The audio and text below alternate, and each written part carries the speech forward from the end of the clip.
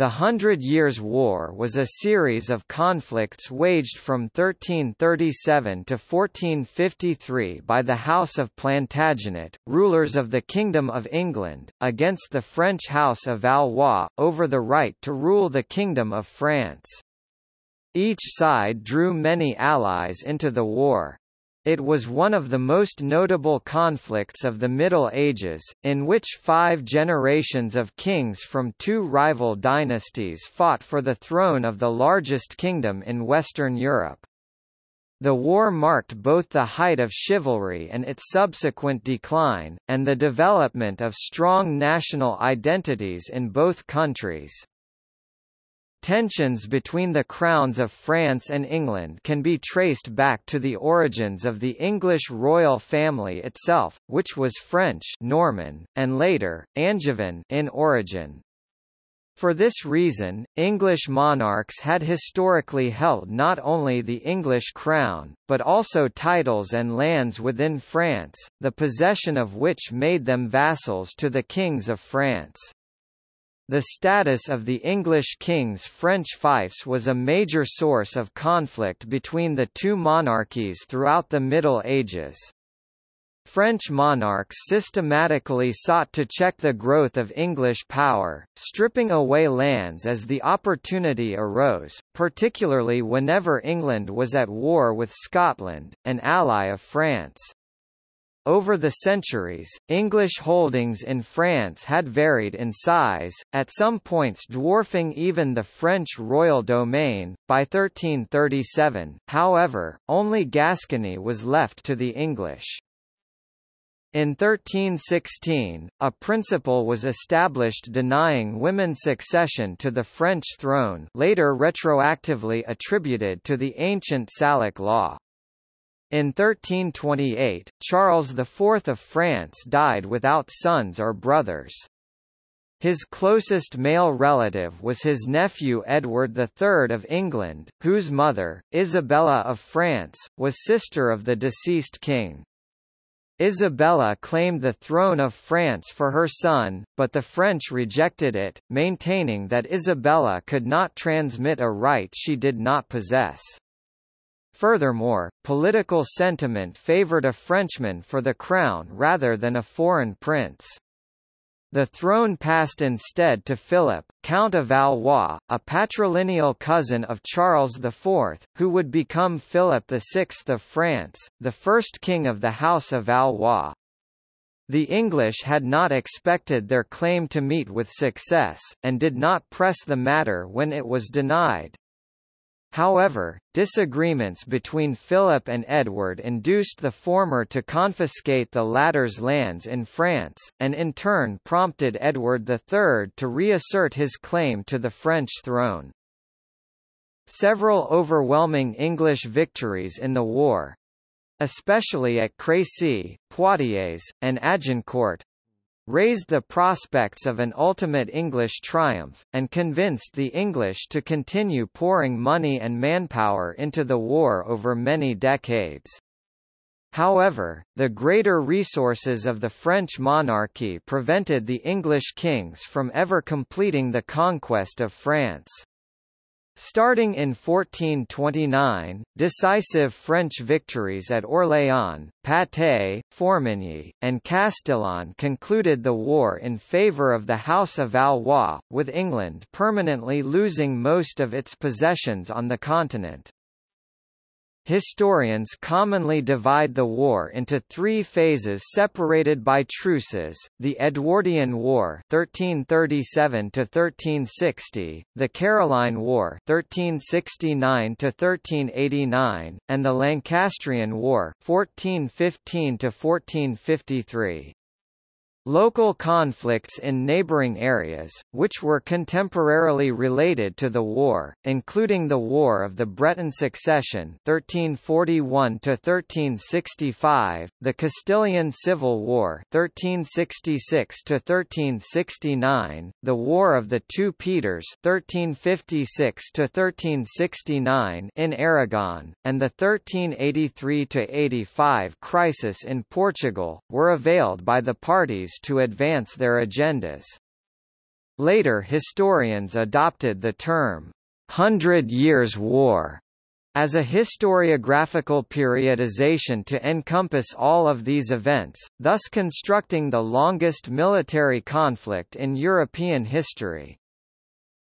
The war owes its historical significance to multiple factors. By its end, feudal armies had been largely replaced by professional troops, and aristocratic dominance had yielded to a democratization of the manpower and weapons of armies. Although primarily a dynastic conflict, the war gave impetus to ideas of French and English nationalism. The wider introduction of weapons and tactics supplanted the feudal armies where heavy cavalry had dominated, and artillery became important. The war precipitated the creation of the first standing armies in Western Europe since the time of the Western Roman Empire, thus helping to change their role in warfare. With respect to the belligerents, in France, civil wars, deadly epidemics, famines, and bandit-free companies of mercenaries reduced the population drastically. In England, political forces over time came to oppose the costly venture. The dissatisfaction of English nobles, resulting from the loss of their continental landholdings, as well as the general shock at losing a war in which investment had been so great, became factors leading to the Wars of the Roses 1455 1487.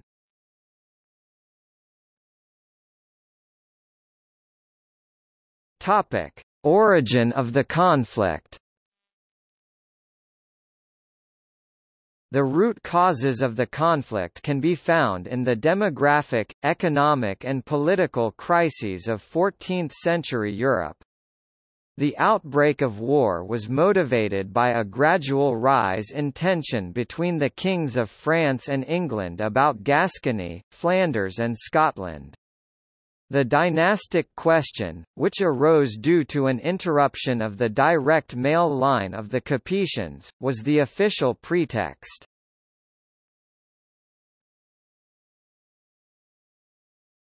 Topic: Dynastic turmoil in France, 1316 to 1328.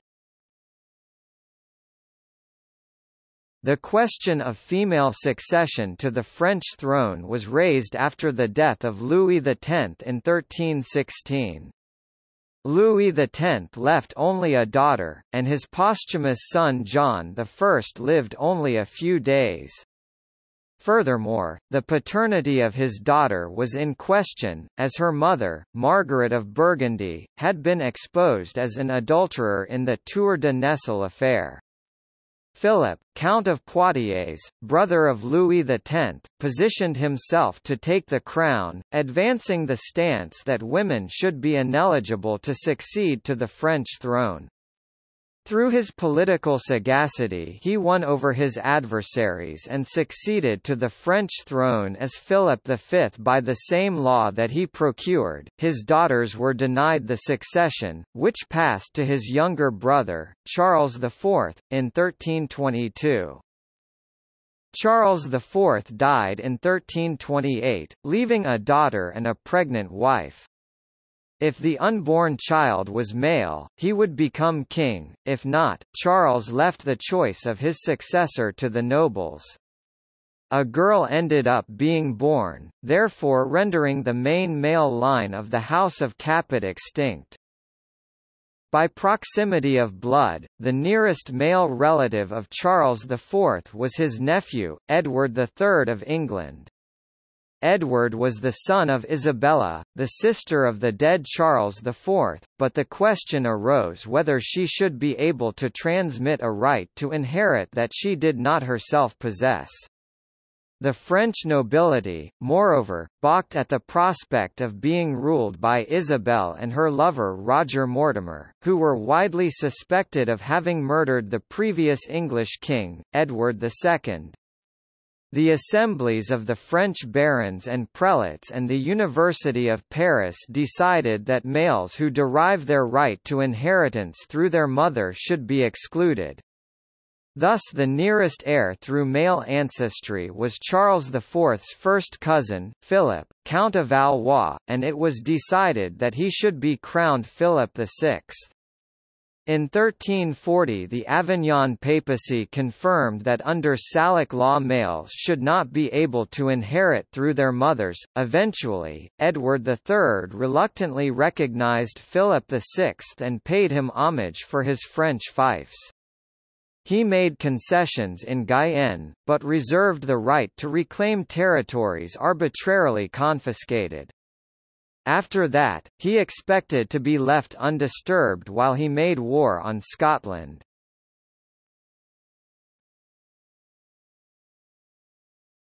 Topic: The dispute over Guyenne, a problem of sovereignty Tensions between the French and English monarchies can be traced back to the 1066 Norman conquest of England, in which the English throne was seized by the Duke of Normandy, a vassal of the King of France. As a result, the Crown of England was held by a succession of nobles who already owned lands in France, which put them among the most powerful subjects of the French king, as they could now draw upon the economic power of England to enforce their interests in the mainland. To the kings of France, this dangerously threatened their royal authority, and so they would constantly try to undermine English rule in France, while the English monarchs would struggle to protect and expand their lands. This clash of interests was the root cause of much of the conflict between the French and English monarchies throughout the medieval era. The Anglo-Norman dynasty that had ruled England since the Norman conquest of 1066 was brought to an end when Henry, the son of Geoffrey of Anjou and Empress Matilda and great-grandson of William the Conqueror, became the first of the Angevin kings of England in 1154 as Henry II. The Angevin kings directly ruled over more French territory than the kings of France. However, they still owed homage for these territories to the French king. From the 11th century onward, the Angevins had autonomy within their French domains, effectively neutralizing the issue. King John of England inherited the Angevin domains from his brother Richard I. However, Philip II of France acted decisively to exploit the weaknesses of John, both legally and militarily, and by 1204 had succeeded in taking control of much of the Angevin continental possessions. Following John's reign, the Battle of Bouvines 1214, the Saintonge War 1242, and finally the War of Saint Sardos 1324, the English king's holdings on the continent, as Duke of Aquitaine Guyenne, were limited roughly to provinces in Gascony. The dispute over Guyenne is even more important than the dynastic question in explaining the outbreak of the war. Guyenne posed a significant problem to the kings of France and England. Edward III was a vassal of Philip VI of France because of his French possessions and was required to recognize the suzerainty of the King of France over them. In practical terms, a judgment in Guyenne might be subject to an appeal to the French royal court. The King of France had the power to revoke all legal decisions made by the King of England in Aquitaine, which was unacceptable to the English. Therefore, sovereignty over Guyenne was a latent conflict between the two monarchies for several generations. During the War of Saint Sardos, Charles of Valois, father of Philip VI, invaded Aquitaine on behalf of Charles IV and conquered the duchy after a local insurrection, which the French believed had been incited by Edward II of England. Charles IV grudgingly agreed to return this territory in 1325. To recover his duchy, Edward II had to compromise, he sent his son, the future Edward III, to pay homage. The King of France agreed to restore Guyenne, minus Agen. But the French delayed the return of the lands, which helped Philip VI. On 6 June 1329, Edward III finally paid homage to the King of France. However, at the ceremony, Philip VI had it recorded that the homage was not due to the fiefs detached from the Duchy of Guyenne by Charles IV especially Agen. For Edward, the homage did not imply the renunciation of his claim to the extorted lands.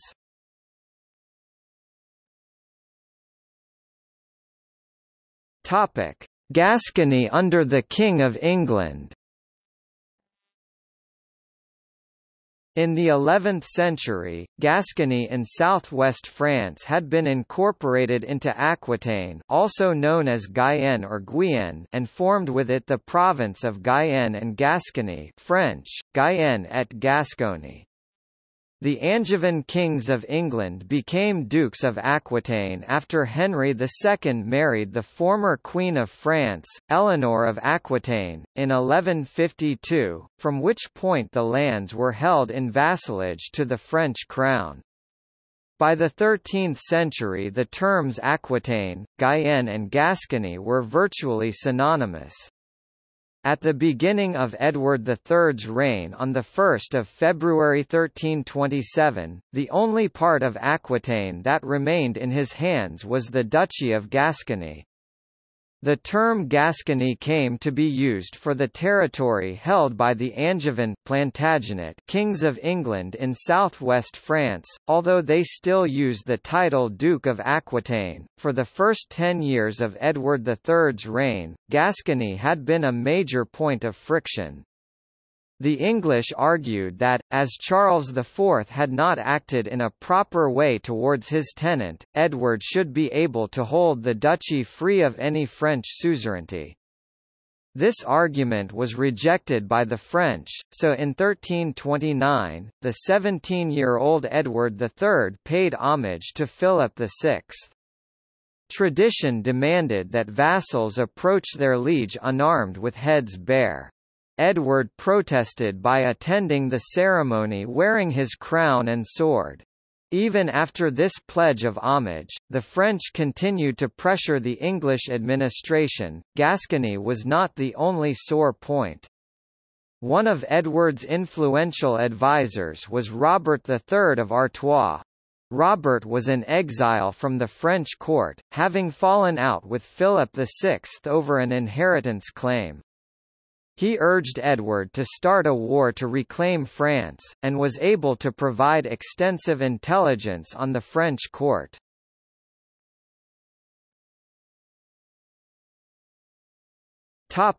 Franco-Scot alliance France was an ally of the Kingdom of Scotland as English kings had for some time tried to subjugate the area. In 1295, a treaty was signed between France and Scotland during the reign of Philip the Fair. Charles IV formally renewed the treaty in 1326, promising Scotland that France would support the Scots if England invaded their country. Similarly, France would have Scotland's support if its own kingdom was attacked. Edward could not succeed in his plans for Scotland if the Scots could count on French support. Philip VI had assembled a large naval fleet off Marseille as part of an ambitious plan for a crusade to the Holy Land. However, the plan was abandoned and the fleet, including elements of the Scottish Navy, moved to the English Channel off Normandy in 1336, threatening England. To deal with this crisis, Edward proposed that the English raise two armies, one to deal with the Scots at a suitable time, the other to proceed at once to Gascony. At the same time, ambassadors were to be sent to France with a proposed treaty for the French king.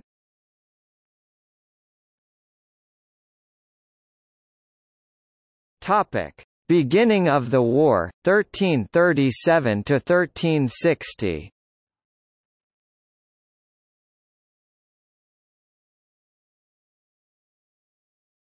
Topic: End of homage.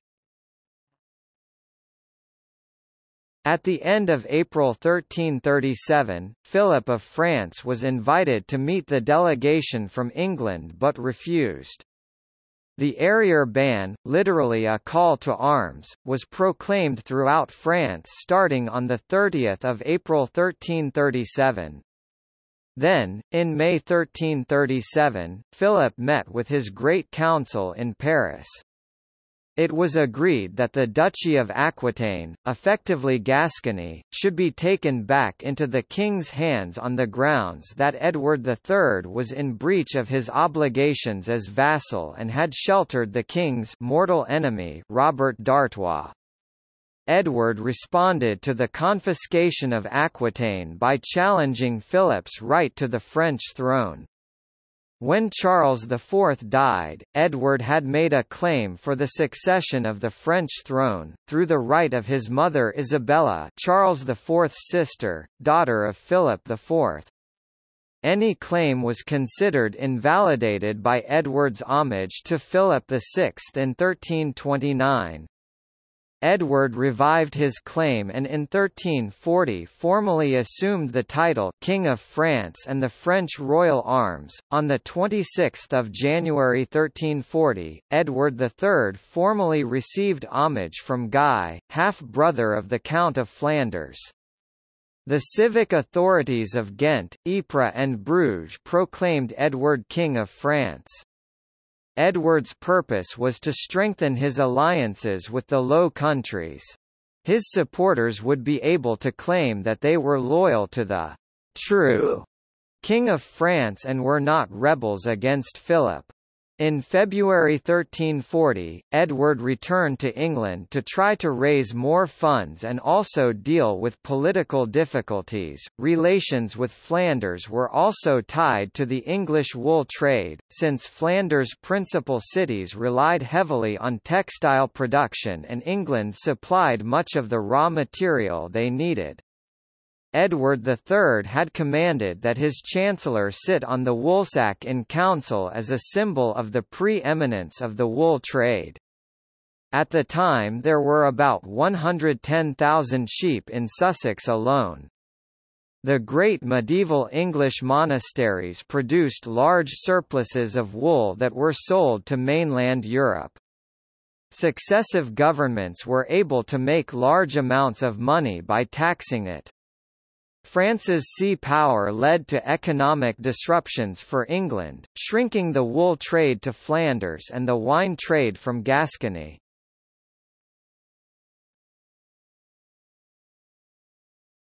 Topic: Outbreak, the English Channel and Brittany. On the 22nd of June 1340, Edward and his fleet sailed from England and arrived off the Zwin estuary the next day.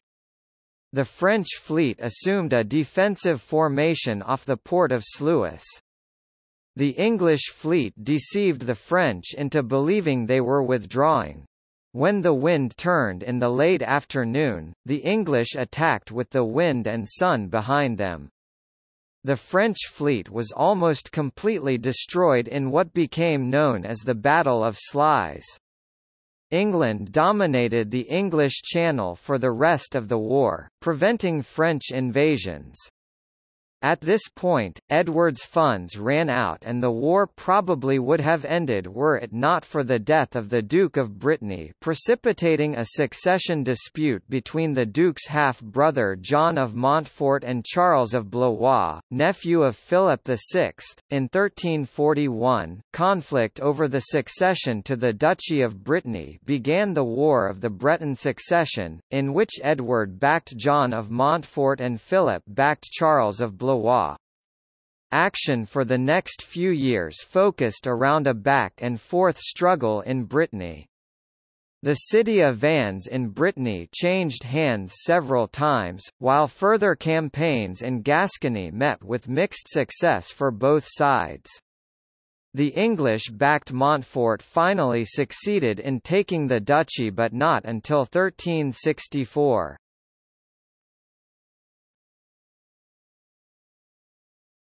Topic: Battle of Crécy and the taking of Calais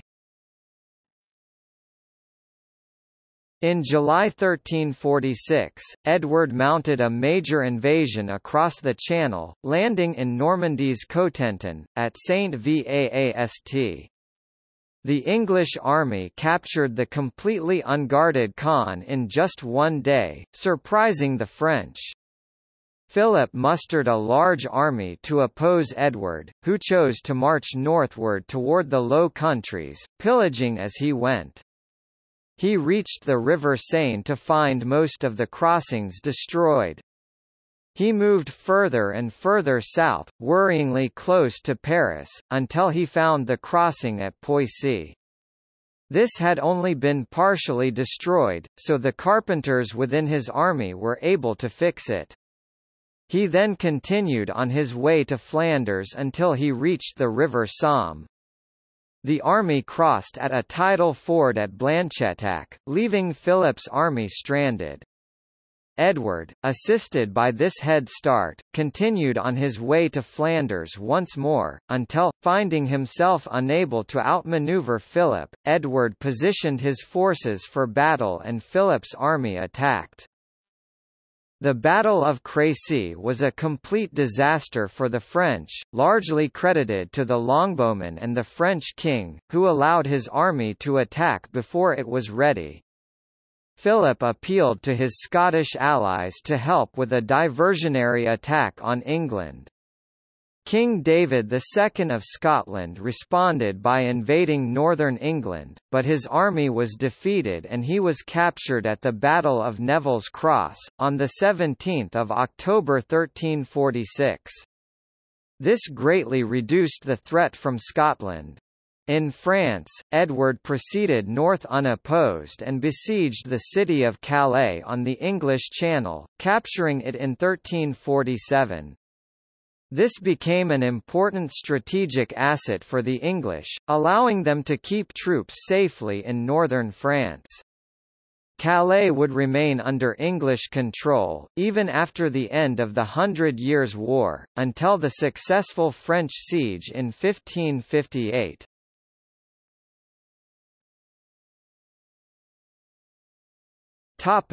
Battle of Poitiers In 1348, the Black Death, which had just arrived in Paris, began to ravage Europe. In 1355, after the plague had passed and England was able to recover financially, King Edward's son and namesake, the Prince of Wales, later known as the Black Prince, led a chevauchée from Gascony into France, during which he pillaged Avignonet and Castelnaudary, sacked Carcassonne, and plundered Narbonne. The next year during another chevauchée he ravaged Auvergne, Limousin, and Berry but failed to take Bourges.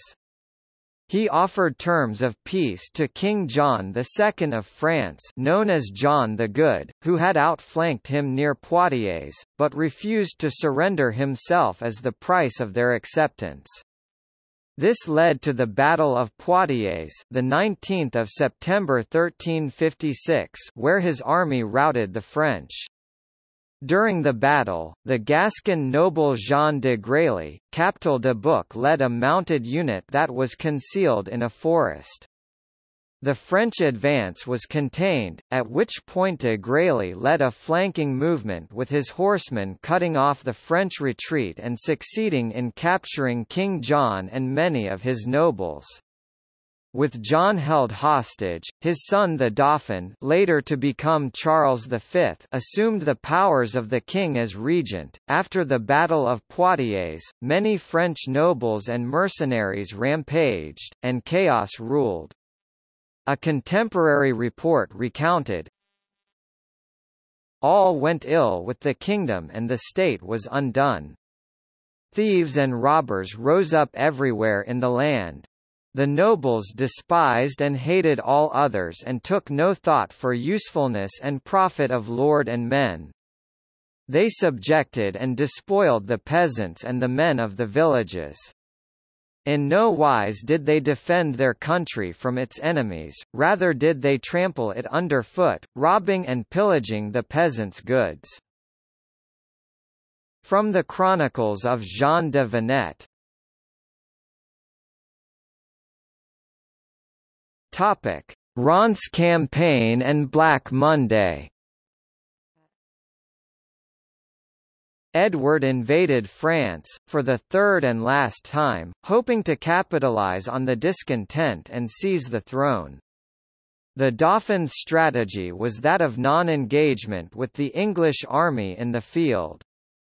However, Edward wanted the crown and chose the cathedral city of Reims for his coronation Reims was the traditional coronation city. However, the citizens of Reims built and reinforced the city's defences before Edward and his army arrived. Edward besieged the city for five weeks, but the defences held and there was no coronation. Edward moved on to Paris, but retreated after a few skirmishes in the suburbs.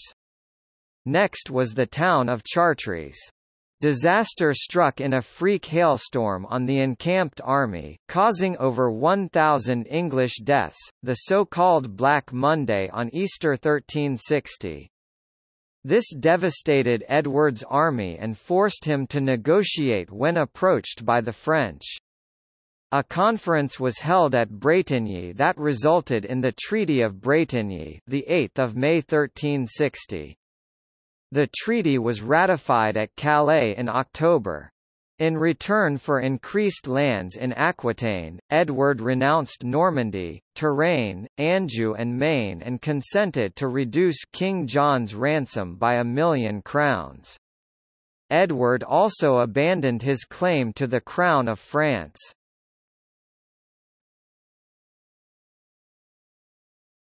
Topic: First Peace, 1360 to 1369. The French king, John II, had been held captive in England. The Treaty of Bretigny set his ransom at three million crowns and allowed for hostages to be held in lieu of John. The hostages included two of his sons, several princes and nobles, four inhabitants of Paris, and two citizens from each of the 19 principal towns of France. While these hostages were held, John returned to France to try and raise funds to pay the ransom. In 1362 John's son Louis of Anjou, a hostage in English held Calais, escaped captivity. So, with his stand-in hostage gone, John felt honour-bound to return to captivity in England. The French crown had been at odds with Navarre near southern Gascony since 1354, and in 1363 the Navarrese used the captivity of John II in London and the political weakness of the Dauphin to try to seize power. Although there was no formal treaty, Edward III supported the Navarrese moves, particularly as there was a prospect that he might gain control over the northern and western provinces as a consequence. With this in mind, Edward deliberately slowed the peace negotiations. In 1364, John II died in London, while still in honourable captivity. Charles V succeeded him as King of France. On 7 May 1364, one month after the Dauphin's accession and three days before his coronation as Charles V, the Navarrese suffered a crushing defeat at the Battle of Cocherel.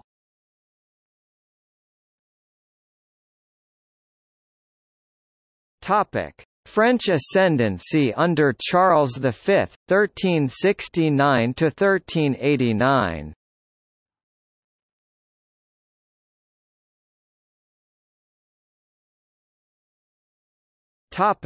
Aquitaine and Castile In 1366 there was a civil war of succession in Castile part of modern Spain. The forces of the ruler Peter of Castile were pitched against those of his half-brother Henry of Trastamara. The English crown supported Peter, the French supported Henry. French forces were led by Bertrand du Guesclin, a Breton, who rose from relatively humble beginnings to prominence as one of France's war leaders. Charles V provided a force of 12,000, with du Guesclin at their head, to support Trastamara in his invasion of Castile. Peter appealed to England and Aquitaine's Black Prince for help, but none was forthcoming, forcing Peter into exile in Aquitaine. The Black Prince had previously agreed to support Peter's claims but concerns over the terms of the Treaty of Bretigny led him to assist Peter as a representative of Aquitaine, rather than England. He then led an Anglo-Gascon army into Castile. Peter was restored to power after Trastamara's army was defeated at the Battle of Nájera. Although the Castilians had agreed to fund the Black Prince, they failed to do so. The prince was suffering from ill health and returned with his army to Aquitaine. To pay off debts incurred during the Castile campaign, the prince instituted a hearth tax. Arnaud Amanieu, Lord of Albret had fought on the Black Prince's side during the war. Albret, who already had become discontented by the influx of English administrators into the enlarged Aquitaine, refused to allow the tax to be collected in his fief.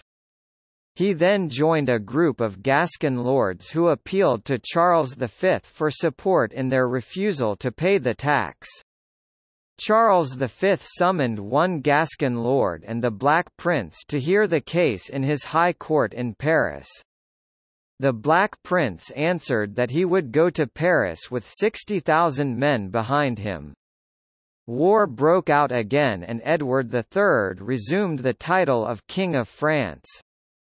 Charles V declared that all the English possessions in France were forfeited, and before the end of 1369 all of Aquitaine was in full revolt. With the Black Prince gone from Castile, Henry de Trastamara led a second invasion that ended with Peter's death at the Battle of Montiel in March 1369. The new Castilian regime provided naval support to French campaigns against Aquitaine and England. In 1372 the Castilian fleet defeated the English fleet in the Battle of La Rochelle. In 1373, the combined Castilian and French fleets sacked the Isle of Wight. In 1377, they burned Rye and Hastings and sacked Lewes, Folkestone, Portsmouth, Dartmouth, and Plymouth. In 1378, the Castilian galleys raided Cornwall, burning coastal towns and levying tribute. The following year the Castilians conquered the castle of La Roche-Guyon on the Breton coast. In July 1380, Fernando Sánchez de Tovar led a Franco-Castilian fleet from La Rochelle in an attack on Jersey and Guernsey, followed by an August raid into the Thames estuary. The raiders burned Gravesend, while the Londoners watched the flames from a distance.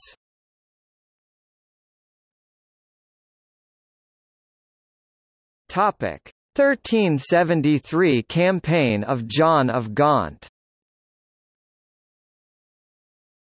In August 1373, John of Gaunt, accompanied by John de Montfort, Duke of Brittany led a force of 9,000 men out from Calais on a major chevauchée. While initially successful as French forces were insufficiently concentrated to oppose them, the English began to meet further resistance as they moved south. French forces began to concentrate around the English force but, under specific orders from King Charles V, the French avoided a set battle. Instead, they fell on forces detached from the main body to raid or forage. The French shadowed the English and in October, the English found themselves being trapped against the River Allier by four separate French forces. With some difficulty, the English crossed at the bridge at Moulins but lost all their baggage and loot. The English carried on south across the Limousin Plateau but the weather was turning severe. Men and horses died in great numbers and many soldiers, forced to march on foot, discarded their armour. At the beginning of December, the army finally entered friendly territory in Gascony. By the end of December they were in Bordeaux, starving, ill-equipped and having lost over half of the 30,000 horses with which they had left Calais. Although the march across France had been a remarkable feat, it was a military failure.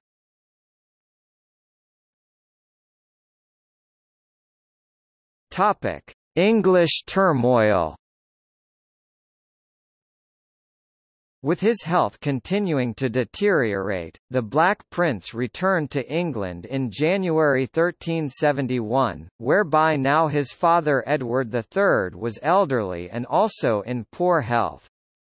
The prince's illness was debilitating, and he died on 8 June 1376. Edward III died the following year on 21 June 1377. He was succeeded by the Black Prince's second son Richard II the first son had died sometime earlier, who was still a child.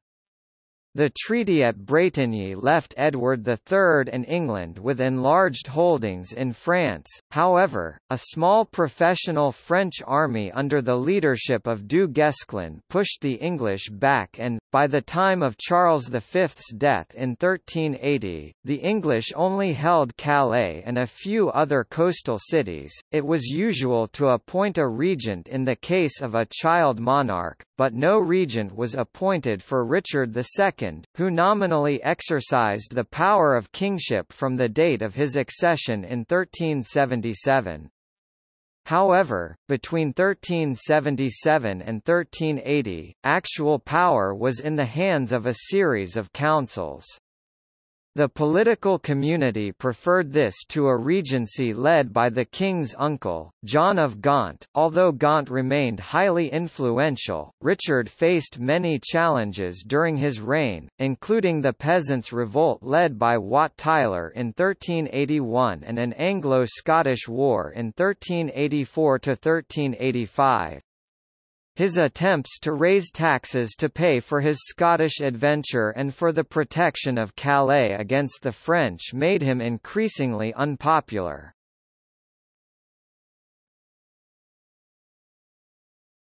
Topic: 1380 campaign of the Earl of Buckingham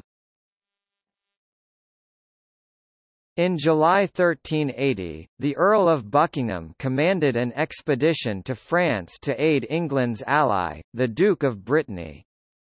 The French refused battle before the walls of Troyes on 25 August, so Buckingham's forces continued their chevauchée and in November laid siege to Nantes.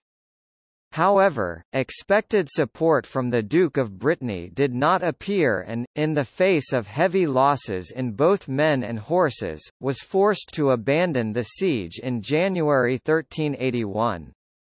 In February 1381, now reconciled to the regime of the new French King Charles VI, Brittany paid 50,000 francs to Buckingham for him to abandon the siege and the campaign.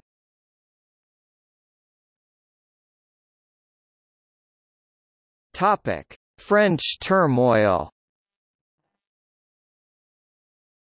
After the deaths of Charles V and Du Guesclin in 1380, France lost its main leadership and overall momentum in the war. Charles VI succeeded his father as King of France at the age of 11, and he was thus put under a regency led by his uncles, who managed to maintain an effective grip on government affairs until about 1388, well after Charles had achieved royal majority. With France facing widespread destruction, plague, and economic recession, high taxation put a heavy burden on the French peasantry and urban communities. The war effort against England largely depended on royal taxation, but the population was increasingly unwilling to pay for it, as would be demonstrated at the Harelle and Maillotin revolts in 1382.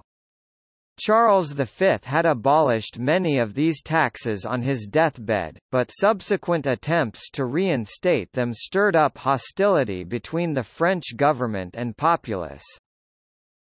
Difficulties in raising taxes and revenue hampered the ability of the French to fight the English. At this point, the war's pace had largely slowed down, and both nations found themselves fighting mainly through proxy wars, such as during the 1383–1385 Portuguese interregnum. The Independence Party in the Kingdom of Portugal, which was supported by the English, won against the supporters of the King of Castile's claim to the Portuguese throne, who in turn was backed by the French.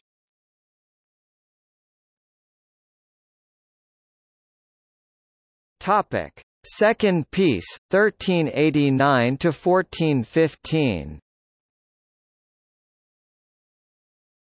The war became increasingly unpopular with the English public largely due to the high taxes needed to sustain it. These taxes were seen as one of the reasons for the peasants' revolt. Richard's increasing disinterest in the war together with his preferential treatment of a select few close friends and advisers angered an alliance of lords that included one of his uncles. This group, known as Lords Appellant, managed to successfully press charges of treason against five of Richard's advisers and friends in the merciless Parliament. The Lords Appellant were able to gain control of the council in 1388 and tried, unsuccessfully, to reignite the war in France. Although the will was there, the funds to pay the troops was lacking, so in the autumn of 1388 the council agreed to resume negotiations with the French crown, beginning on 18 June 1389 with the signing of a three-year truce at Leulinghem. In 1389, Richard's uncle and supporter, John of Gaunt, returned from Spain and Richard was able to rebuild his power gradually until 1396 when he reasserted his authority and destroyed the principal three among the Lords Appellant. In 1399, after John of Gaunt died, Richard II disinherited Gaunt's son, the exiled Henry of Bolingbroke. Bolingbroke returned to England with his supporters and deposed Richard and had himself crowned Henry IV. In Scotland, the problems brought in by the English regime change prompted border raids that were countered by an invasion in 1402 and the defeat of a Scottish army at the Battle of Homildon Hill. A dispute over the spoils between Henry and Henry Percy, 1st Earl of Northumberland, resulted in a long and bloody struggle between the two for control of northern England, resolved only with the almost complete destruction of the Percy family by 1408. In Wales, Owain Glyndŵr was declared Prince of Wales on 16 September 1400. He was the leader of the most serious and widespread rebellion against English authority in Wales since the conquest of 1282–1283.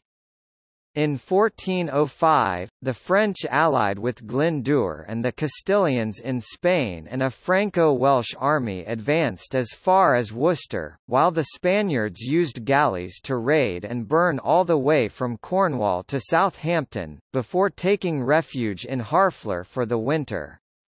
The rebellion was finally put down only in 1415 and resulted in Welsh semi-independence for a number of years. In 1392, Charles VI suddenly descended into madness, forcing France into a regency dominated by his uncles and his brother. An open conflict for control over the regency began between his uncle Philip the Bold, Duke of Burgundy, and his brother, Louis of Valois, Duke of Orléans. After Philip's death, his son and heir John the Fearless continued the struggle against Louis, but with the disadvantage of having no close personal relation to the king. Finding himself outmaneuvered politically, John ordered the assassination of Louis in retaliation. His involvement in the murder was quickly revealed, and the Armagnac family took political power in opposition to John. By 1410, both sides were bidding for the help of English forces in a civil war. In 1418 Paris was taken by the Burgundians, who were unable to stop the massacre of Count of Armagnac and about 2,500 of his followers by a Parisian mob. Throughout this period, England confronted repeated raids by pirates that heavily damaged trade and the navy. There is some evidence that Henry IV used state-legalized piracy as a form of warfare in the English Channel. He used such privateering campaigns to pressure enemies without risking open war. The French responded in kind and French pirates, under Scottish protection, raided many English coastal towns. The domestic and dynastic difficulties faced by England and France in this period quieted the war for a decade. Henry IV of England died in 1413 and was replaced by his eldest son Henry V. The mental illness of Charles VI of France allowed his power to be exercised by royal princes whose rivalries caused deep divisions in France. Henry V was well aware of these divisions and hoped to exploit them. In 1414 while he held court at Leicester, he received ambassadors from Burgundy. Henry accredited envoys to the French king to make clear his territorial claims in France. He also demanded the hand of Charles VI's youngest daughter Catherine of Valois. The French rejected his demands, leading Henry to prepare for war.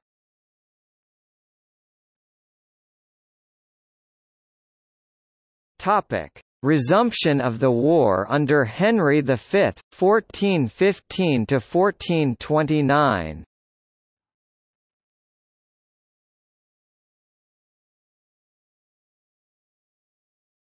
Topic: Burgundian alliance and the seizure of Paris.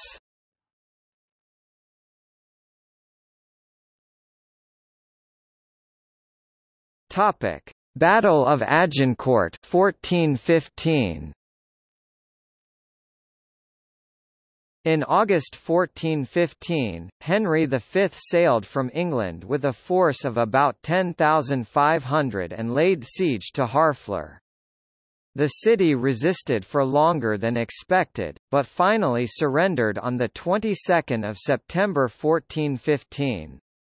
Because of the unexpected delay, most of the campaign season was gone. Rather than march on Paris directly, Henry elected to make a raiding expedition across France toward English-occupied Calais.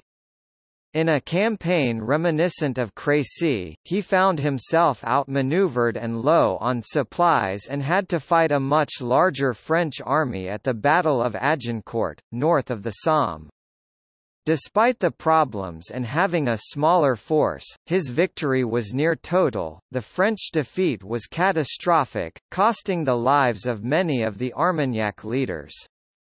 About 40% of the French nobility was killed. Henry was apparently concerned that the large number of prisoners taken were a security risk. There were more French prisoners than there were soldiers in the entire English army and he ordered their deaths.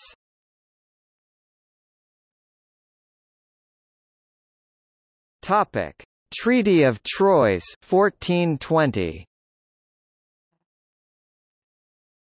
Henry retook much of Normandy, including Caen in 1417, and Rouen on 19 January 1419, turning Normandy English for the first time in two centuries. a formal alliance was made with the Duchy of Burgundy, which had taken Paris after the assassination of Duke John the Fearless in 1419. In 1420, Henry met with King Charles VI. They signed the Treaty of Troyes, by which Henry finally married Charles's daughter Catherine of Valois and Henry's heirs would inherit the throne of France. The Dauphin, Charles VII, was declared illegitimate. Henry formally entered Paris later that year and the agreement was ratified by the Estates General.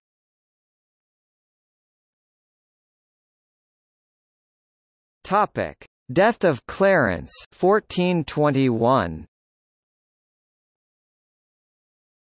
On the 22nd of March 1421 Henry V's progress in his French campaign experienced an unexpected reverse.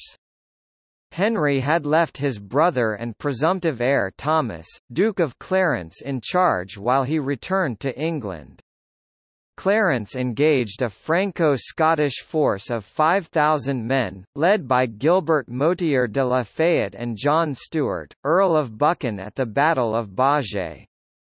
Clarence, against the advice of his lieutenants, before his army had been fully assembled, attacked with a force of no more than 1,500 men at arms.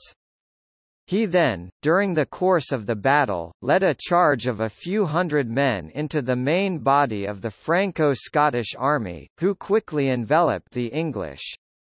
In the ensuing melee, the Scot, John Carmichael of Douglasdale, broke his lance unhorsing the Duke of Clarence.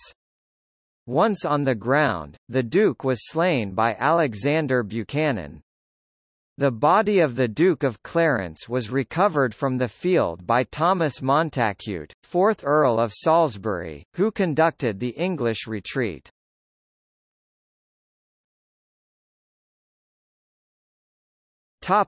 English success. Henry V returned to France and went to Paris, then visiting Chartres and Gâtinais before returning to Paris. From there, he decided to attack the Dauphin-held town of Meaux.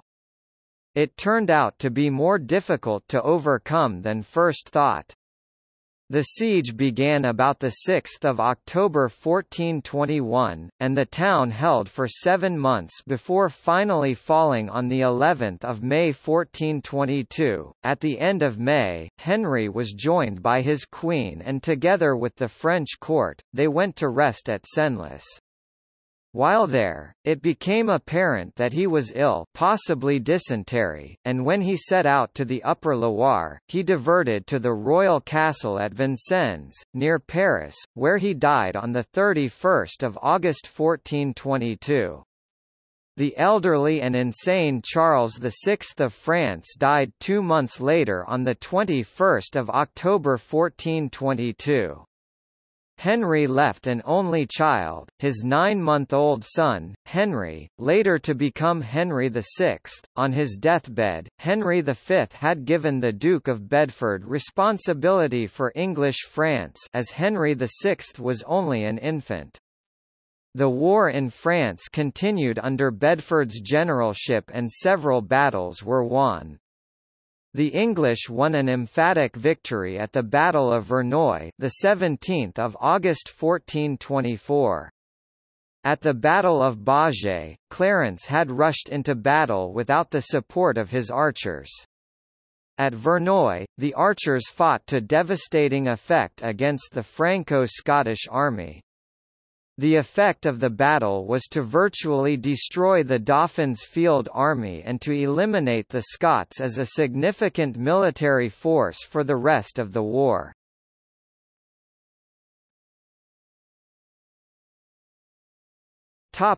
French victory 1429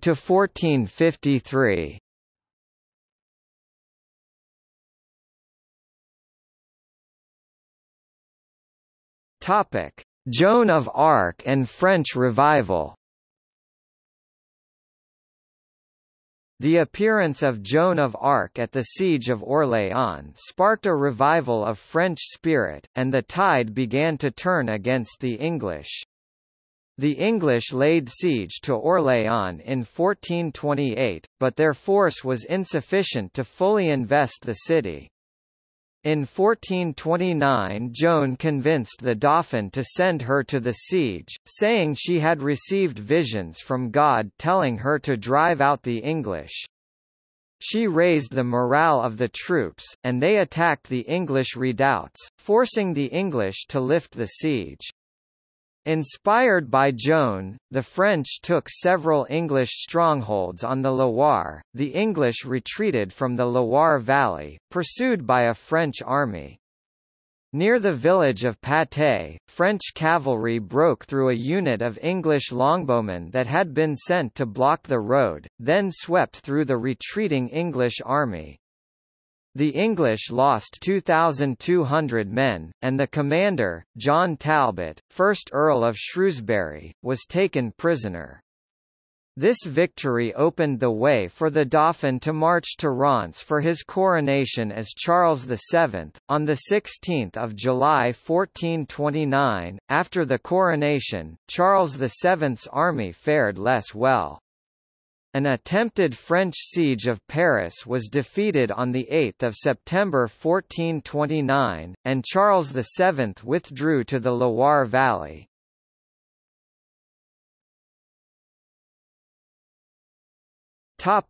Henry's coronations and the desertion of Burgundy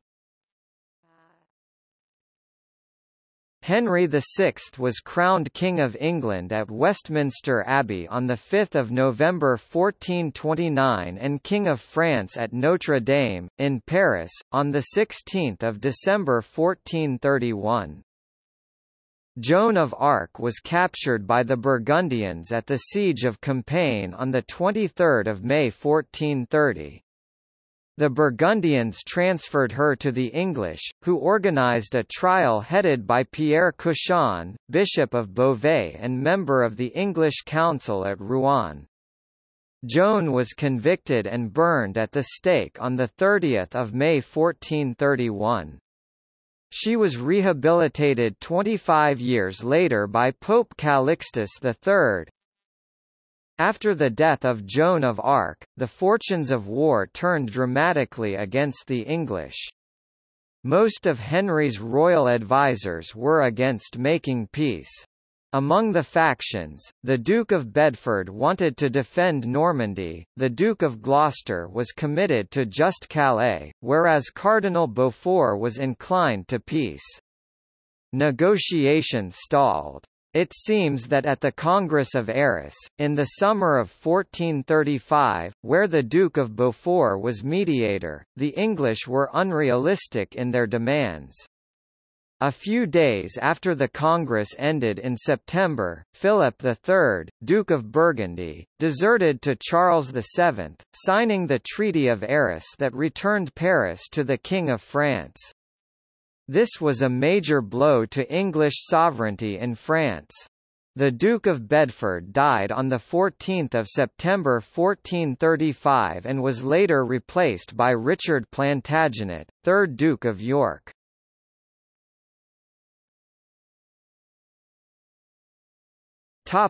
French resurgence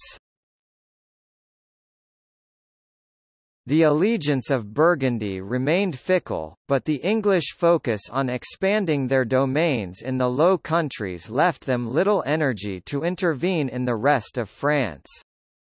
The long truces that marked the war gave Charles time to centralize the French state and reorganize his army and government, replacing his feudal levies with a more modern professional army that could put its superior numbers to good use. A castle that once could only be captured after a prolonged siege would now fall after a few days from cannon bombardment. The French artillery developed a reputation as the best in the world. By 1449, the French had retaken Rouen. In 1450 the Count of Clermont and Arthur de Richemont, Earl of Richmond, of the Montfort family the future Arthur III, Duke of Brittany, caught an English army attempting to relieve Caen and defeated it at the Battle of Formigny. Richemont's force attacked the English army from the flank and rear just as they were on the verge of beating Clermont's army.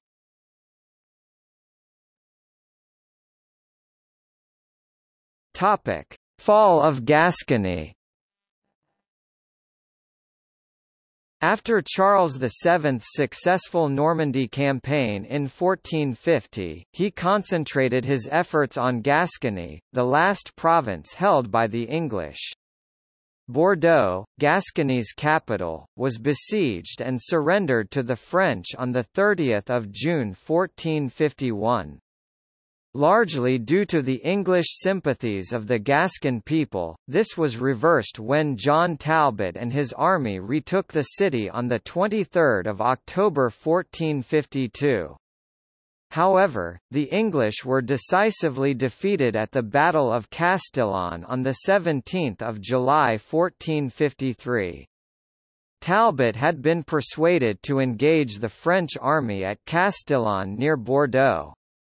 During the battle the French appeared to retreat towards their camp. The French camp at Castillon had been laid out by Charles VII's ordnance officer Jean Bureau and this was instrumental in the French success as when the French cannon opened fire. From their positions in the camp, the English took severe casualties losing both Talbot and his son.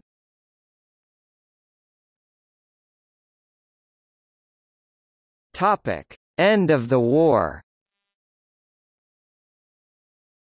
Although the Battle of Castillon is considered the last battle of the Hundred Years' War, England and France remained formally at war for another 20 years, but the English were in no position to carry on the war as they faced unrest at home. Following defeat in the Hundred Years' War, English landowners complained vociferously about the financial losses resulting from the loss of their continental holdings. This is often considered a major cause of the Wars of the Roses, that started in 1455. The Hundred Years' War almost resumed in 1474, when the Duke Charles of Burgundy, counting on English support, took up arms against Louis XI. Louis managed to isolate the Burgundians by buying Edward IV of England off with a large cash sum and an annual pension, in the Treaty of Picquigny 1475.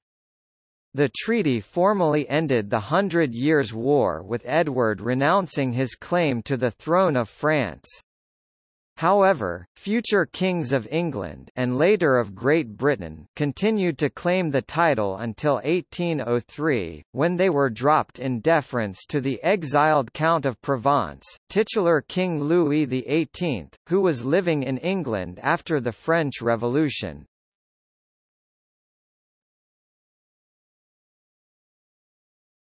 Topic: Significance.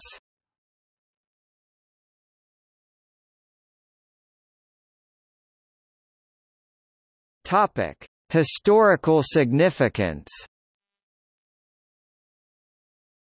The French victory marked the end of a long period of instability that had started with the Norman conquest 1066, when William the Conqueror added, "'King of England' to his titles, becoming both the vassal to as Duke of Normandy and the equal of as King of England, the King of France. When the war ended, England was bereft of its continental possessions, leaving it with only Calais on the continent. The war destroyed the English dream of a joint monarchy and led to the rejection in England of all things French, but the French language in England, which had served as the language of the ruling classes and commerce there from the time of the Norman conquest, left many vestiges in English vocabulary. English became the official language in 1362 and French was no longer used for teaching from 1385. National feeling that emerged from the war unified both France and England further. Despite the devastation on its soil, the Hundred Years' War accelerated the process of transforming France from a feudal monarchy to a centralized state. In England the political and financial troubles which emerged from the defeat were a major cause of the War of the Roses 1455 1487. Lowe 1997 argued that opposition to the war helped to shape England's early modern political culture. Although anti-war and pro-peace spokesmen generally failed to influence outcomes at the time, they had a long-term impact. England showed decreasing enthusiasm for conflict deemed not in the national interest, yielding only losses in return for high economic burdens. In comparing this English cost-benefit analysis with French attitudes, given that both countries suffered from weak leaders and undisciplined soldiers, Lowe noted that the French understood that warfare was necessary to expel the foreigners occupying their homeland. Furthermore, French kings found alternative ways to finance the war, sales taxes, debasing the coinage, and were less dependent than the English on tax levies passed by national legislatures. English anti-war critics thus had more to work with than the French. Bubonic plague and warfare reduced population numbers throughout Europe during this period. France lost half its population during the Hundred Years' War. Normandy lost three-quarters of its population, and Paris two-thirds. The population of England was reduced by 20 to 33% due to plague in the same period.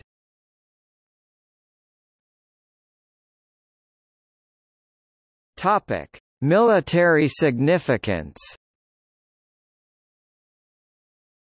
In 1445 the first regular standing army in Western Europe since Roman times was organized in France partly as a solution to marauding free companies. The mercenary companies were given a choice of either joining the Royal Army as companies d'ordonnance on a permanent basis, or being hunted down and destroyed if they refused. France gained a total standing army of around 6,000 men, which was sent out to gradually eliminate the remaining mercenaries who insisted on operating on their own. The new standing army had a more disciplined and professional approach to warfare than its predecessors. The Hundred Years' War was a time of rapid military evolution, Weapons, tactics, army structure and the social meaning of war all changed, partly in response to the war's costs, partly through advancement in technology and partly through lessons that warfare taught. The feudal system was slowly disintegrating throughout the Hundred Years' War. By the war's end, although the heavy cavalry was still considered the most powerful unit in an army, the heavily armored horse had to deal with several tactics developed to deny or mitigate its effective use on a battlefield. The English began using lightly armored mounted troops, known as hobelars. Hobelars' tactics had been developed against the Scots, in the Anglo-Scottish Wars of the 14th century.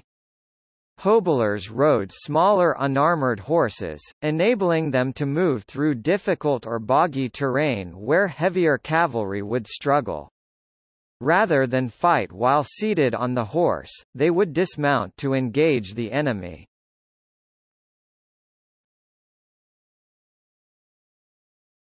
Topic: Timeline.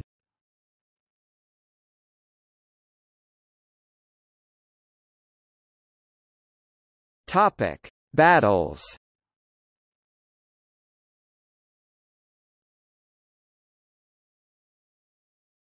Topic: Important figures.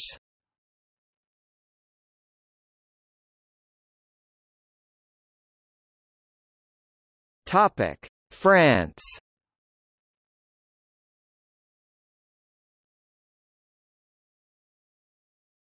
Topic: England.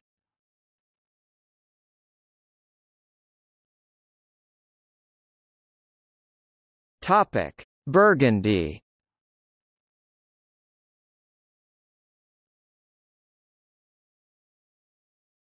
Topic: See also. Timeline of the Hundred Years' War.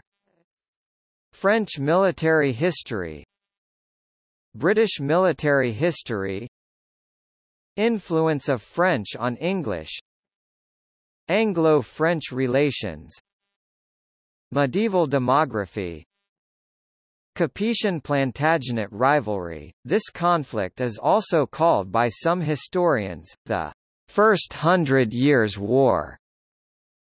Second Hundred Years' War, this is the name given by some historians to the near-continuous series of conflicts between Britain and France from 1688 to 1815, beginning with the Glorious Revolution and ending with the Battle of Waterloo.